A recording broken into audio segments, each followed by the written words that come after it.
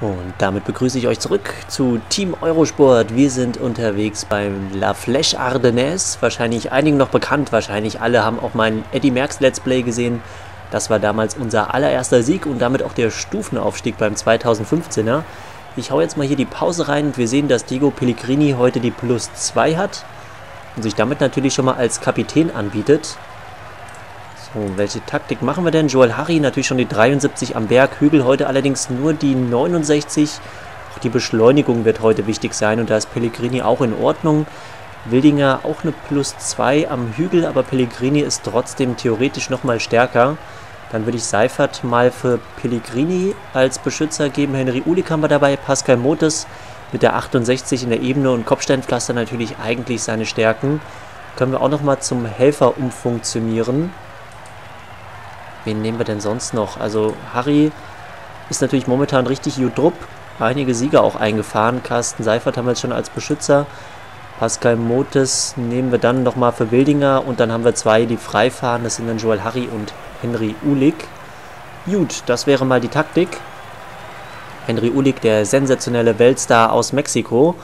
Also ist dort Vuelta Mexiko-Sieger geworden. Immerhin von 16 Fahrern hat er sich gegen die Weltelite durchgesetzt und in den Kommentaren stand ja, dass er aus Versehen gewonnen hat. Ja, es war auch mehr oder weniger aus Versehen. Ich hatte ja auch mit Harry angegriffen, aber Harry wollte nicht vorbeiziehen. Also hat Henry Ulig das einfach mal in Jan Ulrich Bjarne Ries-Manier gewonnen. Ich behaupte ja, Jan Ulrich hätte 1996 schon die Tour gewinnen können und es haut hier runter, alter Schwede. Also wie man auch sieht, ich habe die Grafik wie gesagt wieder etwas verändert. Die Fahrer glänzen jetzt nicht mehr so, das mag ich ja gar nicht. Das ist jetzt alles wieder etwas matter und wir haben natürlich hier auch schlechtes Wetter. Von daher wirkt das Ganze dann noch ein wenig dunkler. Die Taktik ist, denke ich mal, klar für den Tag. Wir warten erstmal ein bisschen ab. Dann gibt es hier hinten raus den Rundkurs und dort werden wir dann vielleicht am vorletzten Berg attackieren. Das sind dann circa noch 10 Kilometer bis ins Ziel. Wie gesagt, das Profil sagt mir halt auch ein bisschen was, weil wir das mit Eddie Merckx schon mal gefahren sind. Dann würde ich sagen, können wir nämlich jetzt schon mal etwas schneller stellen, gehen mal in die Helikopterperspektive und natürlich jetzt eine eigentlich vollkommen übermüdete Aufnahme. Ich glaube, ich habe drei Stunden Schlaf bekommen die Nacht. Das ist für mich auch immer dieser Spätschicht-Frühschichtwechsel, den es mitten in der Woche gibt. Das haut mich immer komplett aus den Latschen.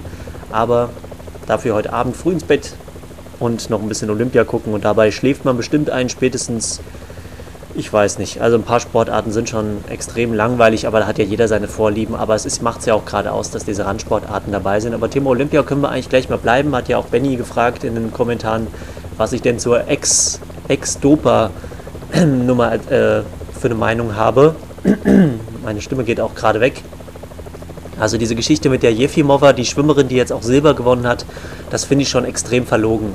Dann wird sie ausgebuht ähm, von den Fans und äh, die Kolleginnen, Anführungszeichen, ignorieren sie und reden kein Wort mit ihr und die internationale Presse will eigentlich auch nicht unbedingt groß was mit ihr zu tun haben. Ich finde das eine unglaublich verlogene Geschichte, gerade wenn die Amerikanerin sich dann hinstellt und sagt, ja, ich habe gerade Gold gewonnen, aber die zugedröhnte, Entschuldigung, wenn ich das jetzt sage, aber die zugedröhnte Schlampe neben mir, die ja alles in sich reinwirft und vollkommen zugedopt ist, die habe ich gerade einfach mal so geschlagen und die hat natürlich auch Silber nicht verdient und dürfte ja gar nicht dabei sein. Ich frage mich immer, was geht in diesem Moment im Kopf von Sportlern vor, wenn sie sowas erzählen müssen oder wenn sie genau wissen, okay, ich nehme wahrscheinlich dasselbe wie die Russin, aber die Russin wird angefeindet. Ich weiß es nicht. Ich käme mir da unglaublich blöd vor. Ich könnte mit dieser Situation auch, glaube ich, gar nicht umgehen. Ähm, wenn ihr mal was Inter Interessantes lesen wollt, dann googelt einfach mal Bernhard Kohl. Das ist der ehemalige Dritte der Tour de France, ich glaube 2008. Das habe ich nämlich jetzt die Tage auch mal wieder gemacht. Bernhard Kohl damals für Geroldsteiner gefahren. Ihr wisst, Hans-Michael Holzer hat von nichts gewusst. Hat nichts gewusst. Doping, er weiß gar nicht, was Doping ist. Aber nochmal die eigenen Fahrer verklagen, dieses riesige Arschloch.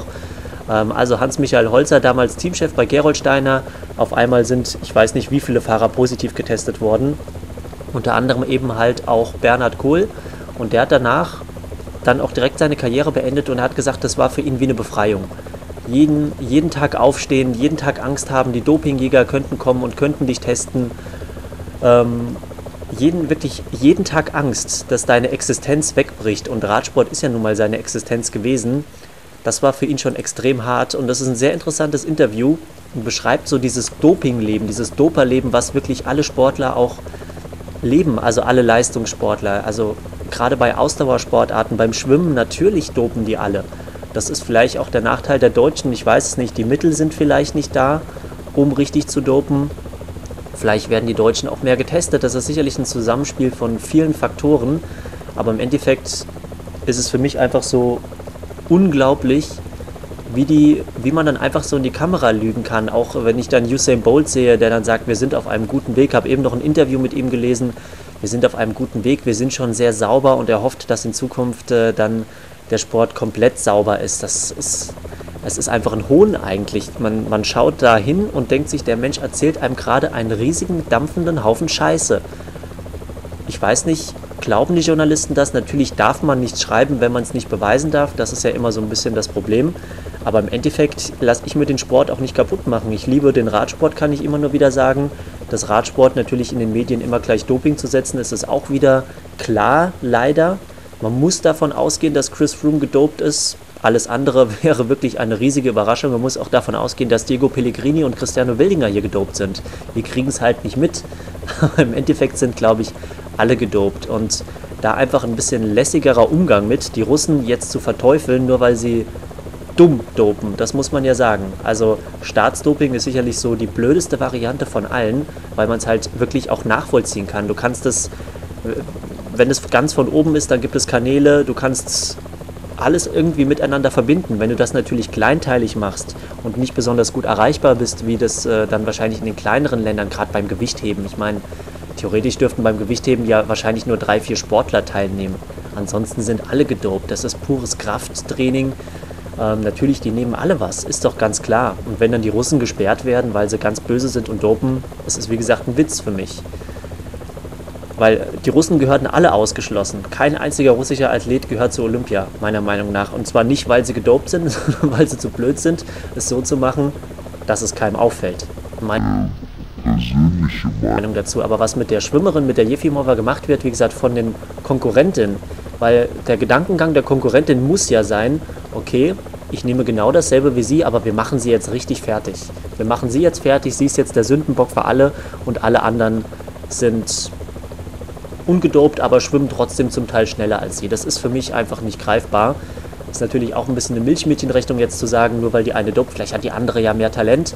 Aber ich behaupte nach wie vor, und da kann ich jetzt froh sein, dass ich nur eine Privatperson bin, ansonsten würde ich wahrscheinlich direkt verklagt werden. Ich behaupte nach wie vor, dass Magdalena Neuner ihre Karriere beendet hat, weil sie einfach keine Lust mehr hatte auf dieses Leben. Sie wollte nicht mehr jeden Tag aufstehen und dieses Bernhard Kohl-Leben haben und sich überlegen, okay, ähm, natürlich dope ich. Ist Henry Ulik gerade ausgerissen? Nee. Ähm, natürlich dope ich, ist ja ganz klar. Ansonsten könnte ich nicht die mit Abstand beste Läuferin sein. Wie gesagt, es kann mir ja keiner erzählen, dass die Russen alle zugedröhnt sind und die Magdalena Neuner trotzdem allen davonläuft. Sie war jetzt auch nicht die beste Schützin. Also es kann mir doch kein Mensch erzählen, dass das klappen kann. Und beim Thema Doping, da kann ich mich immer in Rage reden. Ich mag ja auch Werner Franke, der das dann einfach mal ausspricht. Und dann auch, wenn ich äh, beim ZDF, ist das ZDF oder ARD, nee, ARD, Christine Otto dort stehen sehe und mir denke, das ist eine DDR-Schwimmerin. Die ist zugedröhnt, die hat natürlich Sachen genommen, wo sie wahrscheinlich, wahrscheinlich in Anführungszeichen nicht mal wusste, was sie überhaupt nimmt. Aber trotzdem lasse ich mir dort mit öffentlich-rechtlichen Gebühren von der erwiesenen Doperin erklären, wie sauber doch unsere Schwimmer sind. Es ist, an der Postillon können es ja nicht besser machen. Da könnte ich mich jedes Mal wieder so drüber aufregen, über diese Verlogenheit. Aber das Problem des Sportes generell ist es, wenn ich jetzt Präsident des Radsport-Weltverbandes wäre, dann würde ich mir doch auch dreimal überlegen, ob ich meine besten Sportler des Dopings überführe. Ich meine, Armstrong wurde, glaube ich, bei der Tour des Suisse mal 19 oder 2000 irgendwann auch positiv getestet, hat dann irgendeine Spende an die UCI getätigt und so weiter und ist deswegen nicht gesperrt worden. Die haben sich natürlich auch gedacht, das ist der kommende Star des Rad oder der Star des Radsports, der bringt uns Millionen.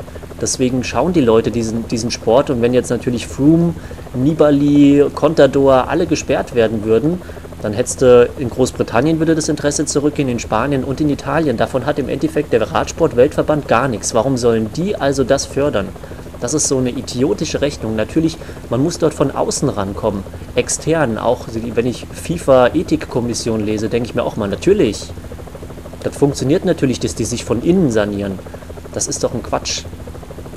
Also unglaublich viel Verlogenheit dabei und jetzt habe ich, glaube ich, mich lange auch genug in Rage geredet. Wir kommen jetzt langsam in die entscheidende Phase. Ich würde Henry Uli gerade nochmal an Wasser holen lassen. Wie gesagt, dann fahren wir heute für Diego Pellegrini. Glaube, Cristiano Wildinger können wir uns nochmal für die Hinterhand aufbewahren quasi. Das ist jetzt hier zum ersten Mal der Hügel, da wird das Tempo jetzt auch höher. Sieht zumindest so aus. Strampeln sich da gerade einen ab. Müssen wir nämlich jetzt mal aufpassen. Also wie gesagt, Thema Doping habe ich sicherlich nicht die Mainstream-Meinung, aber ich finde es einfach nervig, wie verlogen einfach mit dieser ganzen Geschichte umgegangen wird. Wie gesagt, die Russen sind jetzt die Bösen. Na klar, die Russen sind generell auch weltpolitisch die Bösen, genauso wie die Türken böse sind. Da kann man ja, wie gesagt, ja, drüber streiten kann man wahrscheinlich noch nicht mal. Thema Menschenrechte in der Türkei und alles Mögliche. Auch bei den Russen ist sicherlich auch die Pressefreiheit beschnitten und so weiter. Da kann man überall drüber streiten, aber den, seit Putin geht es den Russen besser. Es ist der erste, also unter Boris Jelzin ging es ihnen ganz dreckig. Aber wirtschaftlich ist es in Russland aufwärts gegangen, auch also zumindest in den letzten Jahren, in den letzten Jahren seit Putin dran ist und auch in der Türkei haben die Leute mehr Geld in den Taschen.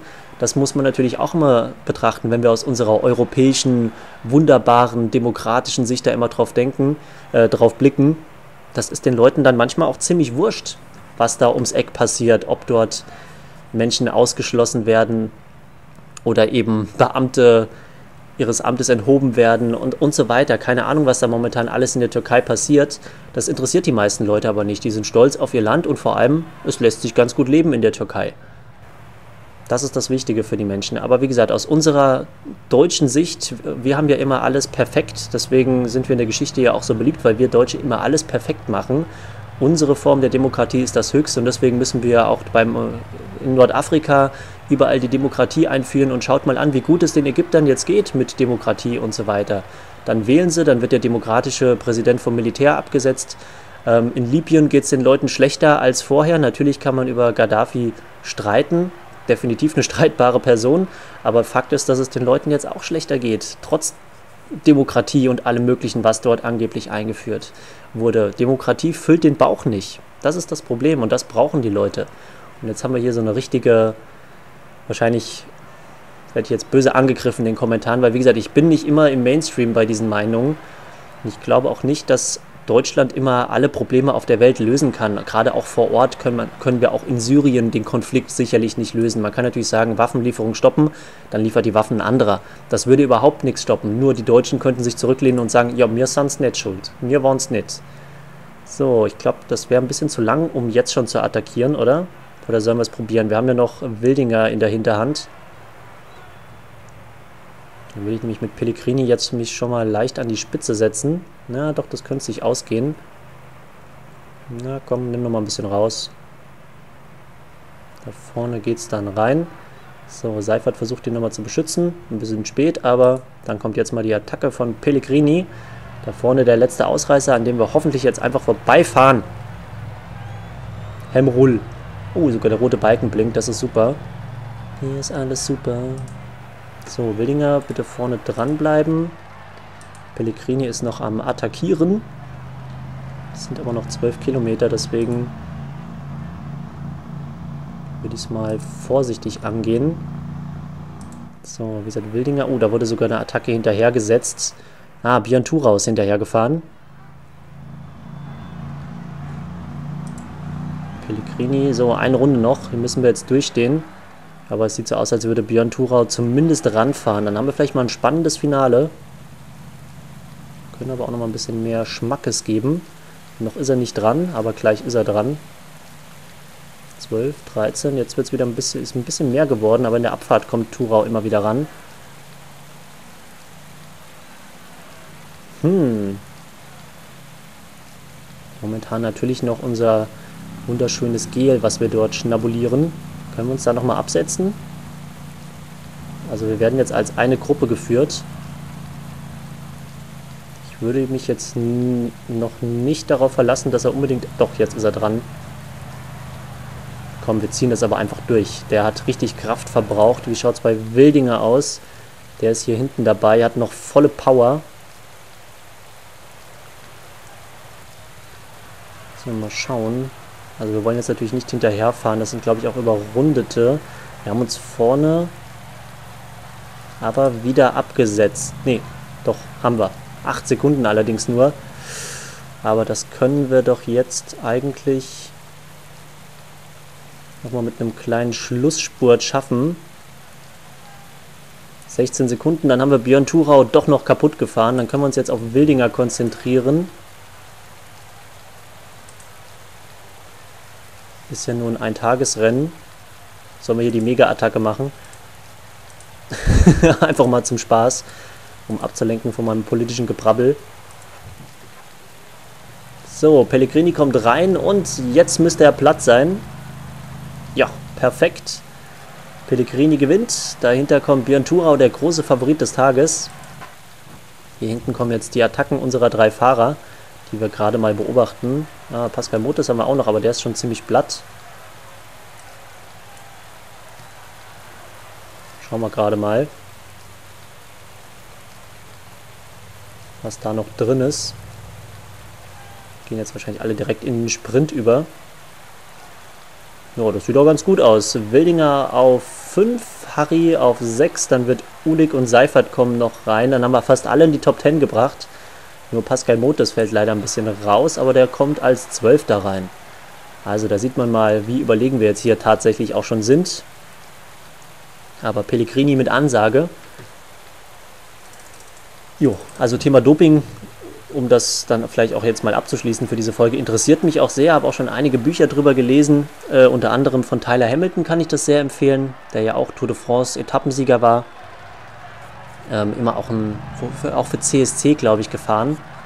Also sehr interessant, gibt natürlich auch sehr tiefe Einblicke in die Materie, vor allem auch von jemandem, der Teil des Systems war, wo man ja auch immer noch drüber reden muss, dass dann auch Sportler, dass immer die Sportler dafür verantwortlich gemacht werden. Also es wird dann immer angeprangert, dass die Sportler das nehmen, aber was da eigentlich immer für Gruppierungen dahinter stehen, das ist das eigentlich Kriminelle. Wir können da eigentlich jetzt auch gerade noch ganz kurz Einsatz möchte ich dazu, was heißt Einsatz? Ein paar Sätze möchte ich dazu eigentlich noch sagen. Ah, jetzt kommt erstmal der Hadeland, der Hadeland Grand Prix. Da kann ich, habe ich jetzt gar nicht mit gerechnet. Eigentlich dachte ich, jetzt kommt unser wunderschönes, ja, den müssten wir allerdings mal simulieren, würde ich sagen. Da haben wir jetzt nicht unbedingt die Fahrer dafür. Wir können Adam Wood auf jeden Fall vielleicht mal an den Start schicken. Ähm, so, wen können wir dann hier mal an den Start schicken? Vielleicht nehmen wir die schlechteren Hügelfahrer mal raus. Michael Jünger. Ansonsten haben eigentlich fast alle einen guten Hügelwert. Lassen wir, na, Oskar Neuber ist halt gut, gut Drupp. Meschede eigentlich auch. Dann lassen wir Matthias Hink mal raus.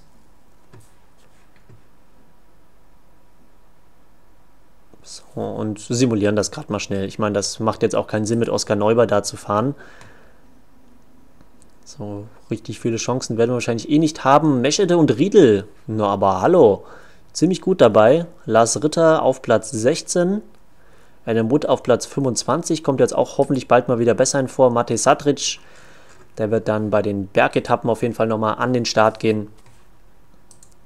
Und dann Tour de Berlin müsste noch kommen und Flech du Süd äh, simulieren wir ohnehin, weil jetzt da fünfmal dieselbe Etappe fahren, hatte ich ja schon gesagt. Also es ist sowieso schon die fünfte Etappe. Da hatten wir in der letzten Folge schon einiges simuliert. Ich werde generell dann jetzt auch demnächst einiges simulieren. Bislang eine sehr unlustige Folge, ich weiß. Aber ich habe vielleicht noch einen ich kann vielleicht noch schnell einen Sammy Slimani-Spruch raussuchen. So, da haben wir wieder nichts geholt. Michel Stückrad 21, ja, mir Suns gewöhnt. Wenn, man's an, wenn man nicht alles selber macht hier. So, und jetzt haben wir dann Tour de Berlin, 25,3 Kilometer langes Zeitfahren. Da kann man schön nochmal ein bisschen quatschen.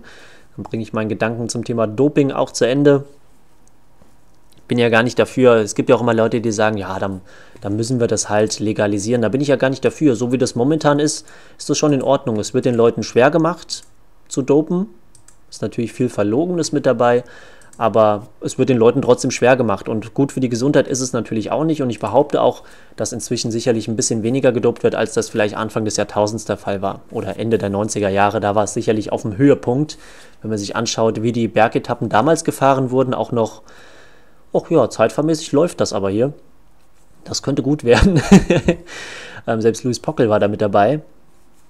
Also wenn man sich anschaut, wie Pantani, Armstrong die Berge dort hochgeflogen sind und wie die heute zum Teil da hochfahren, da muss man sagen, das war sicherlich spannender oder schöner anzusehen damals. Aber heute sieht das natürlich schon etwas realistischer aus. Wenn da einer attackiert, dann geht er aus dem Sattel, dreht sich sofort um und denkt sich, oh scheiße, ich bin ja gar nicht weggekommen. Früher war das dann Sprints. Wo war das ganz besonders? Ich meine, damals Contador gegen den Rasmussen. Die haben da Bergsprints hingesetzt, da hat jeder gestaunt. Das war der absolute Hammer. Aber trotzdem schön anzuschauen war es, aber da hat natürlich dann immer, man hat immer zweifelnd hingeschaut. Das tut man natürlich ohnehin immer. Aber in dem Fall war es extrem. So, wir haben, würden, ich würde das hier jetzt mal ein bisschen langsam durchspielen. Vielleicht Ardennes haben wir gewonnen übrigens, falls es keiner mitbekommen hat. Ich hatte es aber, glaube ich, kommentiert, hoffe ich. Ähm, Christian Koch eröffnet jetzt hier das Zeitfahren. Was ich halt immer, so, wie gesagt, so ein bisschen schade finde, nehmen wir Patrick Sinkewitz als Beispiel. Ich weiß nicht, ob ich es schon mal in einer anderen Folge äh, genannt hatte. Das war damals eines der Opfer. Bei der Tour de France ist er auf der Ab... Also auf der Abfahrt quasi, nachdem das Rennen schon vorbei war, die Radsportler sind dann runtergefahren mit dem Rad zum Teil ins Tal, um dort, von dort aus dann eben ins Hotel gebracht zu werden. Dort ist er abgefahren, mit einem Fan zusammengeprallt und ich glaube zwei Wochen später kam dann raus, dass er sogar, dass er gedopt war bei der Tour de France und ein Pflaster aufgetragen, worüber dann Substanzen in den Körper gehen und das steht leider auf der, oder steht nicht leider, sondern das steht auf der Dopingliste, also ist er positiv überführt worden. Vor der Saison gab es diese Vereinbarung, die die Fahrer unterschreiben mussten, dass falls sie positiv getestet werden, dass sie dann, ich glaube, das Doppelte des Jahresgehaltes entweder an die UCI oder an den Sponsor, ich weiß nicht mehr genau an wen, zahlen müssen. Und das finde ich halt immer so ein bisschen heftig. Weil im Endeffekt der Fahrer ist ja das, das kleinste Rädchen in dem ganzen System. Die Hintermänner, die dopen, die sind dafür. Der Fuentes hat sich ein goldenes Näschen damit verdient. Es gibt so viele Ärzte und ich behaupte nach wie vor, das habe ich auch schon mal gesagt, dass Guardiola auf Müller-Wohlfahrt bzw. auf die Bayern-Ärzte nicht sauer war, weil die häufig verletzt waren oder weil Ribéry verletzt war, sondern weil die Ärzte sich wahrscheinlich auch geweigert haben, diese letzten Prozent, die man wahrscheinlich nur illegal aus Spielern rausholen kann, das ging bei, beim FC Barcelona anscheinend einfacher mit den Ärzten. Aber das sind alles natürlich nur Vermutungen. Man kann, ich kann das nicht zu 100% bestätigen. Ist allerdings jetzt nicht so, dass ich mir, dass ich hier auf der Couch sitze, mir die Nase reibe und denke, ha, das könnte natürlich sein. Nein, das haben natürlich Journalisten auch recherchiert. Ähm, hatte den Artikel, glaube ich, oder ich glaube, Benny hatte ihn, glaube ich, auch schon mal in die Kommentare gepostet von der FAZ. Da wurde auch Gus Hidding zum Beispiel genannt, dessen Mannschaften immer unglaublich viel rennen. Ähm, läuferisch stark sind 2002 die Südkoreaner. Ich glaube, die rennen immer noch. Es sind, glaube ich, immer noch dieselben jetzt bei Olympia. Und da haben wir Benny auch einfach mal eine fette Plus 5 am Start. also, wer viel in die Kommentare schreibt, der bekommt auch eine gute Tagesform. 25 Kilometer lang. Ich würde es mal etwas vorsichtig angehen. Ist relativ flach, so ein paar kleine Erhebungen. Aber wie gesagt, ich finde es dann schlimm, wenn Patrick Sinkewitz dann quasi das Doppelte seines Jahresgehaltes zahlen muss und der Sponsor gar nichts. Es kann mir doch kein Mensch erzählen, dass die das nicht wissen oder dass das vom Team aus gemacht wurde. Ich meine, Team Telekom ist vor der Tour de France immer noch mal schön nach Freiburg. Freiburg ist ein schönes Städtchen, wirklich ein sehr, sehr schönes Städtchen. Kann ich nur empfehlen. Ähm, auch die Leute dort unten unglaublich gastfreundlich, macht Spaß, ist auch eine Universitätsstadt. Aber ich glaube nicht, dass das komplette Team Telekom immer an die Freiburger Uniklinik gefahren ist, um dort nochmal schön lecker Eis zu essen. Kann ich mir persönlich nicht vorstellen. So, erste Zwischenzeit, gleich mal natürlich die Bestzeit für Benny Fjord. 12 Sekunden vorne. Wir können sogar etwas schneller fahren, beziehungsweise vielleicht auch nicht. So, ich hoffe, es geht jetzt keinen auf die Nerven, aber ich bin, wenn ich so übermüdet bin, dann bin ich manchmal quengelig kurz vorm Einschlafen und es ist ja noch ein bisschen Zeit bis zum Einschlafen, deswegen muss ich mich auch wach halten. Und dann kommt man manchmal in so einen Redefluss. Gut, aber dann lassen wir das Thema jetzt mal. Aber wie gesagt, ich finde es einfach, es ist einfach eine verlogene Gesellschaft generell. Ich glaube, verlogener als in Deutschland ist es fast nirgendwo. So, Benny Fjord natürlich, neue fette Bestzeit. Ähm, mit großem Abstand, also hallo, 28 Sekunden. Das ist mal richtig krass. Freddy Ovett.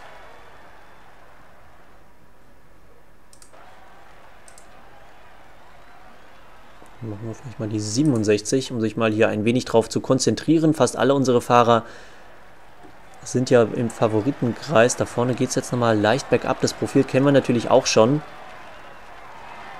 Und einige Etappen, die uns jetzt wiederholt mal über die Füße fahren. Oder besser gesagt, wir fahren denen über die Füße. Wen haben wir denn da vorne? Den guten Herrn Hertig. Der ist auch beim Diskuswerfen bei Olympia dabei. Schlechte Witze über Umlaute. Seht ihr, jetzt haben wir auch mal einen Witz in der Folge. Achso, ich wollte gerade sagen, warum ist Kinun denn da vorne? Aber der Start ist direkt auch am Ziel. Der Weg ist das Ziel. Jetzt bin ich mal gespannt, was das für eine Bestzeit wird. Wir haben ja hinten raus sogar nochmal zulegen können mit Benny Fjord. Der gelbe Balken ist jetzt weg, 200 Meter vor dem Ziel und eine Minute Vorsprung. Not bad. So, Reuter auch am Start. Probieren wir es mal ein bisschen differenzierter. Also Grunewald Kinun, ich weiß gar nicht, wo Benny Fjord in der Gesamtwertung war. Aber sollte ja eigentlich jetzt noch nicht die ganz großen Abstände gewesen sein. Äh, ja. Nee, Benny Fjord hatte nur SZ. Die Süddeutsche Zeitung hatte er. Auch eine gute Zeitung, aber ich habe da eigentlich kein präferiertes Blatt. Jo. Wisst ihr das auch mal? Ich habe kein präferiertes Blatt. Mag Ahornbäume, aber ich mag auch die FAZ. So, wir verbrauchen mehr Kraft als Strecke da ist. Das kann ein bisschen, ein bisschen hoppig werden. Falls ich jetzt gleich einschlafen sollte nach meinem Redeschwall, dann ist das einfach die letzte Energie gewesen, die ich überhaupt habe. Und ich möchte bitte, dass ihr auf jede einzelne meiner Thesen auch Bezug nimmt. Nicht was vergessen. Ne? Jo, Benny, das läuft doch ganz gut. Grunewald bei der ersten Zwischenzeit 4 äh, Sekunden zurück. Äh, Kuna 2 Sekunden. Ich tippe mal Reuter 3 Sekunden. Watt, sogar eine Bestzeit. Das ist ja nicht zu fassen. Da hat sich, haben wir einfach mal die Vierfachführung. Jetzt kommt auch noch Luis Pockel, der auch noch eine passable Tagesform hat. Und die anderen hier sind eigentlich nicht so richtig gut drauf. So, Grunewald kommt zur zweiten Zwischenzeit. Dort ist er 10 Sekunden hinter Benny Fjord, der hinten raus ja auch nochmal ein bisschen Tempo gemacht hat. Ich lasse das jetzt mal auf der 67. Wir sind ja generell etwas schneller angegangen. Ich glaube, Kinun müssen wir etwas vorsichtiger sein. Kinun 7 Sekunden. Jetzt müsste auch direkt dann Reuter schon kommen. Na, sind noch zwei Kilometer. Luis Pockel und dann kommt natürlich auch noch Schmidti, unser bester Zeitfahrer. Aber gerade Zeitfahren ist ja zum Beispiel, wer im Zeitfahren vorne ist, da kann man Gift drauf nehmen, dass der gedopt ist. Also Toni Martin, der nimmt wahrscheinlich doch relativ viel, würde ich mal sagen, weil das ist ja Ausdauer pur. Kraft, Ausdauer, muss eine hohe Wattzahl über einen langen Zeitraum treten. Das ist ja prädestiniert dafür. Aber wie gesagt, ist ja kein Thema. Es lässt sich halt leider nicht vermeiden. So, Luis Pockel, achso. Boah, 9,55. Der erste, der unter 10 Minuten gefahren ist bei der ersten Zwischenzeit. Grunewald nicht verpassen. Gerade auch der gelbe Balken weg. 29 Sekunden hinter Benny Fjord. Der aber natürlich mit plus 5 auch eine Bombentagesform hatte. So, Kinun müsste eigentlich auch ganz gut aussehen. Oh, Reuter. Da ist leider der gelbe Balken schon etwas zu weit weg. Ich rede immer vom Balken, ich weiß. Da kichert immer jeder in sich rein. Hihihi, gelber Balken. So, erster, zweiter, dritter im Ziel. Kinun auf 3. Reuter allerdings könnte jetzt nochmal hinten raus ein bisschen einbrechen. Aber mit der Tagesform minus 3 hat er natürlich auch weniger Ausdauer. Das macht hier auch einen Unterschied. So, ich hoffe, dass mit der 60, ja doch, das sollte eigentlich noch ganz gut funktionieren. Er ist erst auf den letzten Metern dann richtig müde. Christian Reuter natürlich auf 4. Damit haben wir schon mal die ersten vier Plätze. Mal schauen, was da noch kommt. Ein paar Fahrer sind ja durchaus noch unterwegs. So, Luis Pockel können wir mal ein bisschen schneller stellen. Ich gehe mal auf die 67 runter. Zweite Zwischenzeit sind wir gleich und jetzt geht vor allem auch gleich Schmitti von der Rampe. Können wir schon mal hingehen. Der achte der Gesamtwertung. Der ja ganz toll den Sprint angefahren hat, auch für Luis Pockel. Der dann einfach erstmal aus Versehen die Handbremse gedrückt hat. Das lief echt prima. Das muss man ihm lassen. So, Pockel auf... Oh, schon wieder Bestzeit. Wer hat denn Bestzeit? Oh, Biane van Acker hat die Bestzeit jetzt unterboten. Luis Pockel noch drei Sekunden vorne. Respekt. 66er Zeitverwert eigentlich nur. Schmidti leider mit der Minus 2. Das könnte entscheidend werden. So, hat jetzt noch 3,7 Kilometer. Hier sind es noch 4,1. Also bleiben wir erstmal bei Schmidt. Schauen wir mal, wie er zur ersten Zwischenzeit kommt. Vorhin fährt Michael Goularts. Auch eine passable Zeit. Pockel kommt dann gleich ins Ziel. Ja, das sieht aber gut aus. Und Schmidt bei der ersten Zwischenzeit nochmal eine Sekunde schneller. So, Finale. Luis Pockel. Jetzt ist er leider durch. Jetzt muss er kämpfen. Und im Ziel. Ach, 23 Sekunden. Benny Fjord, alter Schwede. Die Schlussrunde von Benny Fjord war der absolute Hammer. Also zwischen den, dem letzten Messpunkt und dem Finale. Das war schon eine sehr, sehr gute Leistung von Benny Fjord. Vielleicht holt er hier seinen ersten Sieg. Es wird allerdings eng, 16 Sekunden. Bei der ersten Zwischenzeit... Boah, da hat er aber 16 Sekunden schon Rückstand gehabt. Bedeutet bei der zweiten Zwischenzeit erstmal gar nichts verloren und hinten raus ist er extrem stark. Also da war es vielleicht sogar besser, wenn man es ein bisschen ruhiger am Anfang angeht. Deswegen gehe ich bei Schmidt mal ein bisschen runter. Wir können es jetzt auch schneller stellen. Wir müssen jetzt ja nicht mehr mehrere Fahrer im Blick haben. Zweite Zwischenzeit, momentan Van Acker vorne Mal schauen, Van Acker 12 Sekunden hinter Benny Fjord. Also, das läuft, das läuft.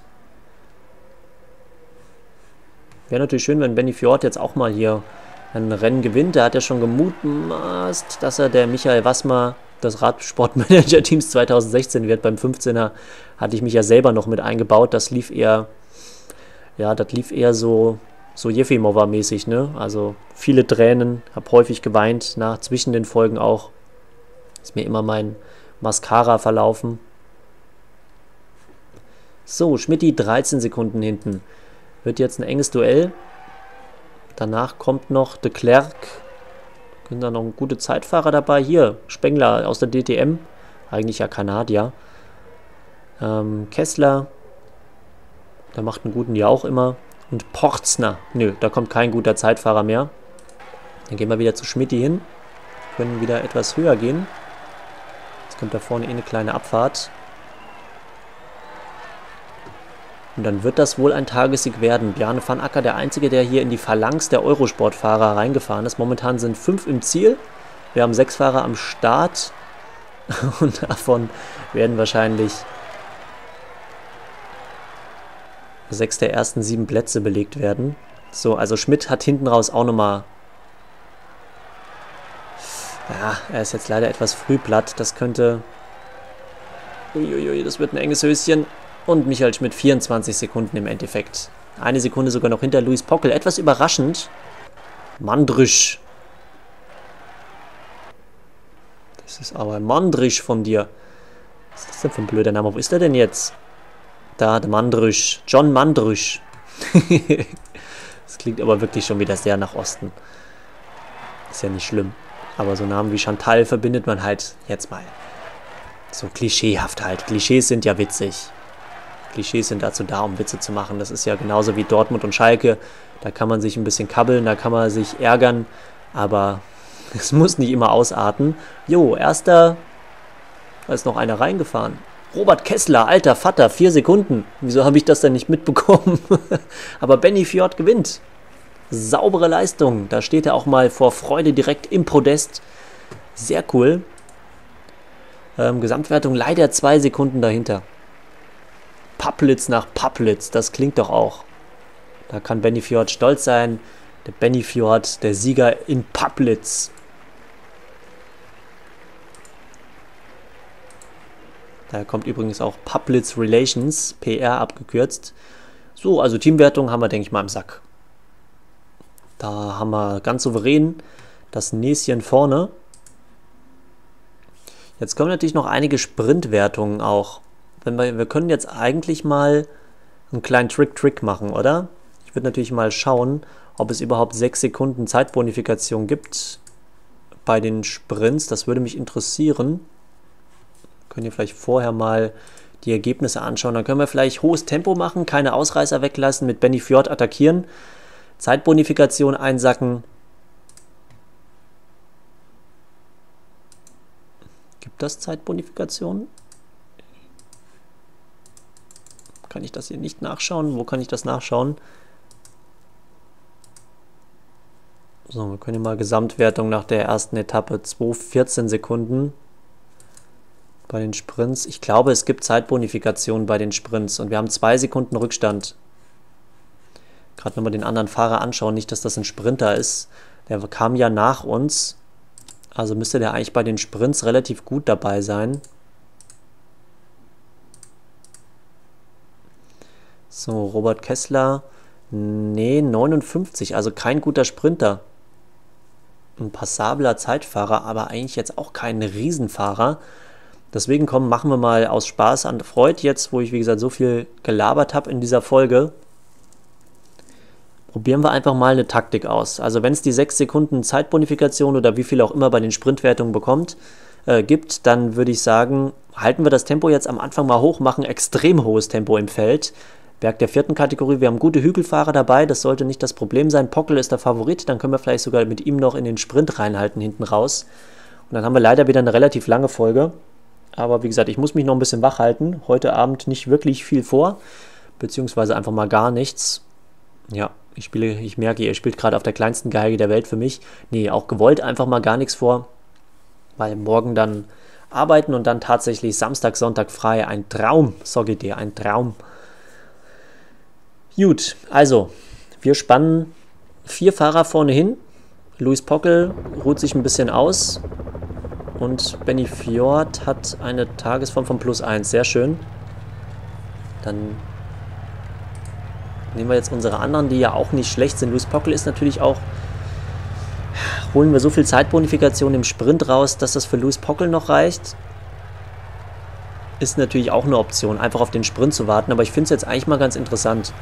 Wir machen das. Grunewald, Schmidt sind natürlich alle dicht dran kontrollieren das mal.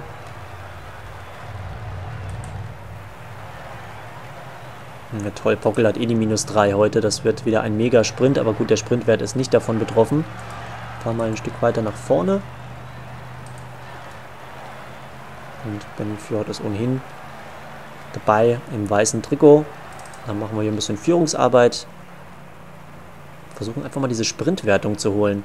Jetzt schauen wir aber erstmal, ob es überhaupt Zeitbonifikation gibt. Drei Sekunden ist da nicht euer Ernst. Drei Sekunden, das würde doch genau reichen. wir haben zwei Sekunden Rückstand. Ist doch ein Schicksalsschlag. das läuft doch. So, dann gehen wir mal wieder hier rein. Momentan noch kein Auto. So, da war jetzt leider eine kleine Pause drin. Aber jetzt geht's weiter. Musste gerade eine wichtige Nachricht beantworten. Das konnte ich jetzt leider nicht mehr abwarten. Da konnte ich nicht mehr warten, da musste ich antworten. Nee, also alles gut. So, Handy hat trotzdem gerade nochmal vibriert. Jetzt ignorieren wir es aber gerade mal so. Bis zur Sprintwertung. Ausreißer sind noch keine weg. Das Feld ist auch relativ klein. Sind hier nur 62 Fahrer. Wir fahren mit 65er Wert. Das ist jetzt auch noch nicht die Welt, dass die Fahrer da sofort hechelnd über den Henker gleiten. So, noch 5 Kilometer bis zur Bergwertung. Die Strommasten im Hintergrund formschön. Da kommen jetzt schon ein paar Fahrer nach vorne, die so ein bisschen bockig sind. Ich mache hier den Armstrong. Ich sage, nein, keiner darf rausfahren. So, jetzt dürfen wir nur nicht vergessen, auch die Sprintwertung zu holen. Oh, Bergwertung haben wir uns geholt. Yes. War natürlich mein Plan von vornherein. Ich habe gerade gezwinkert, falls ihr das nicht gehört habt. Ich zwinkere sehr leise. So, dann machen wir jetzt Überraschungsattacke. Darf keiner wissen.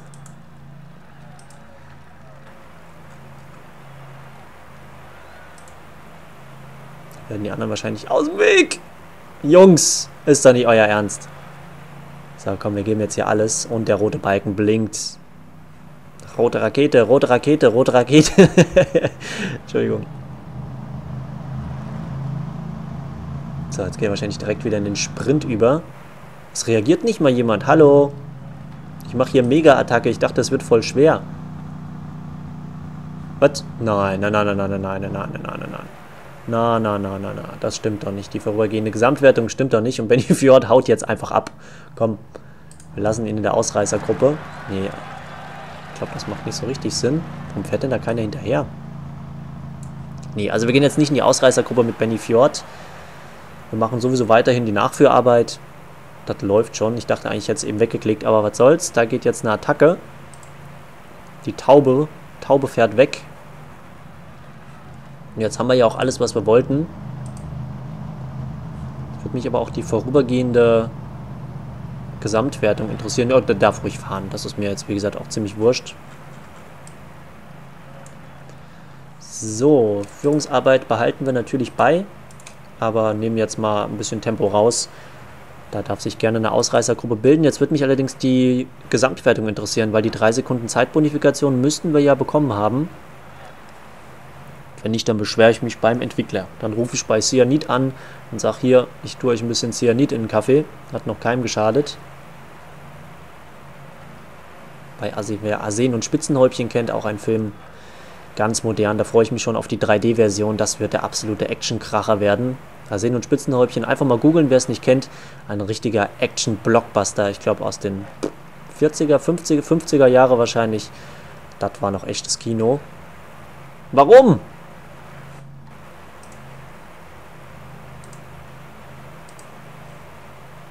Das ist doch nicht wahr. Wir haben es doch gewonnen. Da, drei Sekunden Zeitbonifikation, bitte. Die möchte ich jetzt sofort haben. Vielleicht kriegt man die aber auch erst am Ende der Etappe. Gut, dann bevor das jetzt hier alles ewig lange wird und wahrscheinlich wieder 15 Stunden. Ich wollte eigentlich nur eine kurze Folge aufnehmen, aber das war jetzt, irgendwie hat es mir Spaß gemacht und ich konnte einfach mal meinen Doping-Frost loswerden. Ähm, ein Message sollten wir uns noch holen. Sollte vielleicht nicht unbedingt Benny Fjord machen, aber es gibt ja nochmal zwei Sekunden Zeitbonifikation, weil ja nur einer vorne weg ist. Können wir gleich nochmal ausreißen. Ja, Luis Pockel muss auch nicht unbedingt. Dann kommt Christian Reuter. Ja, hätte er immer eine bessere Tagesform im Zeitfahren gehabt. Aber plus 5 von Benny Fjord war natürlich nicht zu knacken. Ja, jetzt hat man auch andere vorne die Führungsarbeit mit übernommen. Dann gehen wir nämlich nochmal runter zu Benny.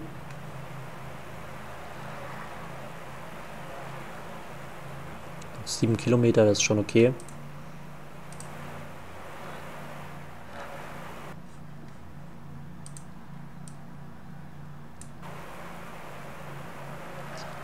Fjord hat Wasser. Das ist immer gut für einen Fjord. Ach Gott, dass unsere Jungs da immer im Weg sind, das ist doch nicht zu fassen.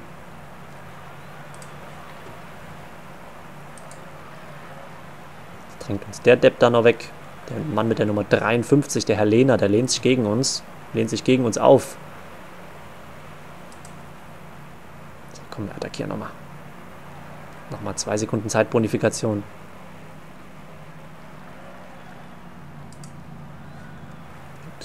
Das wäre geritzt.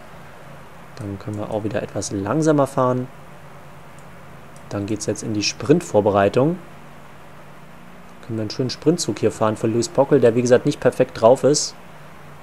Wir haben aber auch keinen richtigen Sprintanfahrer. Huch. Nee, Tempo wollte ich keins machen. Kannst dich ausruhen. Hast du gut gemacht. Und dann schauen wir mal. Da können wir jetzt einen richtig schönen Sprintzug anfahren. Wir warten noch ein bisschen. Die anderen machen ja Tempo. Unsere Fahrer sind eh vorne. Das Feld ist relativ klein. Eine Minute Vorsprung für den Ausrand, ob wir die Zeit bekommen. Das war ja der Sinn der Sache. So, mal kurz ein bisschen schneller stellen. Geht sogar nochmal Berschruff. Das macht gar nichts für uns. So, Christian Reuter. Na komm, dann machen wir mal Erstmal zum Einsammeln. Carsten Grunewald lasse ich heute mal raus, weil er nicht so eine gute Tagesform hat. Sollte er sich mal in ihn hängen. Dann machen wir das so. Fjord lassen wir komplett raus. Hatte ich jetzt... Ah, da zeigt sich dann die Müdigkeit. Doch Schmidti hatte ich aber als drittes. Und Benny Fjord soll einfach nur vorne dranbleiben. Man kann sich ja an Luis Pockel dranhängen.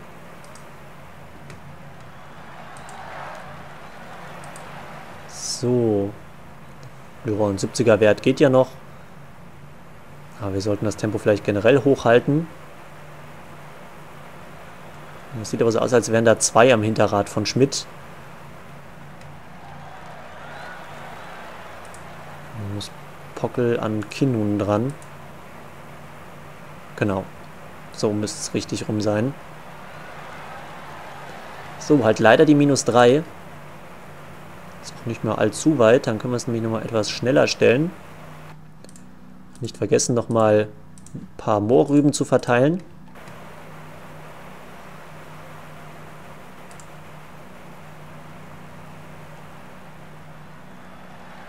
Komm, hau alles rein, was du hast.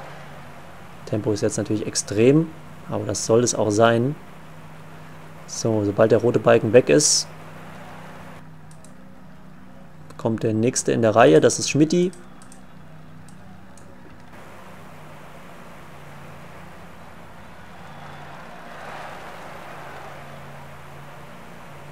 Dann geht es da hinten leicht bergauf.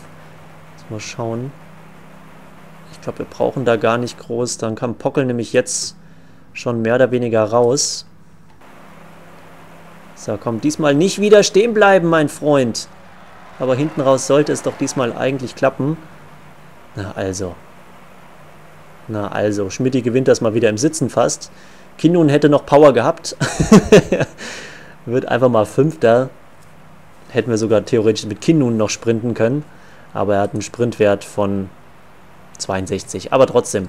Hat auf jeden Fall Pockel noch mal ein bisschen Kraft gespart. Etappensieg Luis Pockel und ich hoffe mal, dass jetzt Benny Fjord nicht rausgefallen war. Wo ist er, wo ist er, wo ist er? Haben wir nicht gesehen. Wurscht, wir gehen zur Siegerehrung. Da sehen wir Team Eurosport relativ gut vertreten vorne. Alles dieselbe Zeit. Luis Pockel. Jawohl, Gesamtwertung. Drei Sekunden haben wir jetzt Vorsprung. Fünf Sekunden dann Zeitbonifikation. Dann wird das also nicht aktualisiert, was ein bisschen schade ist eigentlich. Weil es ist ja in dem Sinne gelaufen. Luis Pockel jetzt bis auf 18 Sekunden ran an Benny Fjord. Also das könnte auch nochmal ein enges Höschen werden in den letzten Sprints. Ich weiß nicht, ob wir alle fahren. Ich würde es jetzt ja doch Benny Fjord eigentlich auch gönnen. Auch wenn es natürlich nur ein U23-Rennen ist. Luis Pockel 18 Sekunden in der Bergwertung wieder zurück. Ja, alles gefixt, gar kein Problem. Kessler in der Punktewertung vorne, natürlich auch, weil er im Zeitfahren noch vorne gelandet ist, wobei Luis Pockel da auch nicht ganz schlecht war. Aber auf der ersten Etappe waren wir halt sehr schlecht. Und dann könnte das doch vielleicht für Benny Fjord sogar reichen. Gut, dass wir dort die Zwischenwertung ist natürlich ein bisschen gemogelt, weil das Spiel darauf nicht so richtig reagiert. Trotzdem läuft. Die Folge ist relativ lang. Ich würde mich jetzt auch mal direkt verabschieden. Wir machen nochmal einen kleinen Blick auf die Platzierung. Continental sind wir ganz knapp vorne. 1041 Punkte. Super Prestige sind wir halt nicht ganz weit. 1, 2, 3, 4, 5, 6, 7, 8, 9. Hinter Gazprom. Da blutet mir natürlich das Schalker Herz. Nein, Gazprom ist auf jeden Fall ein sehr sympathischer Verein. Da freue ich mich als Schalke-Fan immer wieder. Ich bin stolz, dass Gazprom der Sponsor des FC Schalke 04 ist. Hust. Aber sehr hust. Jo, dann würde ich sagen, Tour de Berlin machen wir in der nächsten Folge. Dann kann sein, dass wir mal eine kleine Pause vielleicht in der Folge machen und ich mal einiges simuliere. Rhône-Alp-Isère-Tour können wir natürlich auch zumindest die dritte Etappe spielen. Dann kommen aber so einige Sachen, die ich dann ganz gerne auch mal ohne euch spiele wahrscheinlich, beziehungsweise gar nicht spiele, sondern einfach nur simuliere. Und dann kommt die Ronde Lizard. Das ist auf jeden Fall ein schönes Event, weil es mal vier Bergwertungen oder vier Bergetappen sind. Die dritte ist jetzt nicht so ganz hügelig, aber da können wir mal eine schöne Teamtaktik mit unserem Team Eurosport machen. Tour of Japan wird auch eher wieder hügelig. Ein Bergzeitfahren gibt es, da können wir auch wieder ausgewählt äh, Etappen fahren. Aber ich denke mal, unser Team ist gut aufgestellt, wir sind erfolgreich und wir werden auch die erste Saison jetzt etwas schneller durchgehen, damit wir natürlich auch zu den größeren Rennen kommen. Jetzt, wo Michael Wassmer bei Paris-Nizza ja schon unterwegs ist, da müssen wir jetzt natürlich reinhauen und auch hier endlich zu den Pro-Tour-Rennen kommen, was allerdings wahrscheinlich erst so hundertprozentig in der dritten Saison passieren wird. Also, Dankeschön fürs Schauen. War, denke ich mal, eine ganz interessante Folge, auch mal ein bisschen abseits des Radsports. Wie gesagt, es muss nicht jeder meine Meinung teilen, denn ich glaube auch, das macht nicht jeder. Ähm, aber ich versuchte halt schon in alle Richtungen zu denken, deswegen vielleicht habe ich jetzt auch zu einseitig in die, in die Doping, in die alle sind eh gedopt Richtung äh, geredet. Das ist auch gar nicht unbedingt meine Meinung. Es gibt sicherlich saubere Sportler, keine Frage, aber wenn man erfolgreich sein will im Leistungssport, dann ist es leider, leider, leider unabdingbar, dass man tatsächlich dopt und das ist gerade für den Jugendsport ähm, sehr schwierig. Wir haben ja auch äh, einen Experten noch, ähm, der selber viel Rad gefahren ist. Nicht, dass er jetzt zum Thema Doping sich viel äußert, aber das ist natürlich doch auch immer wieder in den Hinterköpfen. Gerade Erik Zabel hat damals auch ein Interview gegeben, hat dann auch gesagt, seinen Sohn in den Radsport zu schicken, da hat er natürlich ein mulmiges Gefühl bei. Jetzt ist Rick Zabel natürlich auch ein Profi. Ist alles so ein bisschen schwierig. Da würde ich meinem Sohn, wenn ich einen Sohn hätte, würde ich ihm auch nicht unbedingt raten, ja komm, du wirst jetzt Radsportler ist so eine schwierige Geschichte. Aber gut, haben wir lang genug drüber geredet. Wie gesagt, ich hoffe, ich habe damit keinem jetzt auf, auf, auf die Schlappe getreten oder bin keinem zu nahe getreten.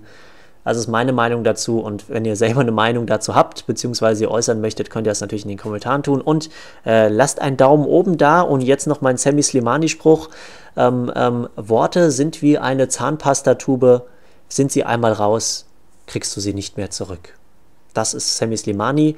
Und äh, wenn ihr mir einen Daumen hoch gebt, wenn es mindestens 15 Daumen hoch gibt, dann erzähle ich euch meine Lieblings- äh, mein Lieblingsbrotaufstrich in der nächsten Folge. Das sind doch mal, das sind doch mal Sachen, womit man seine Abonnenten und Zuschauer auch motivieren kann. Ich hoffe, ihr macht das auch, weil Nutella.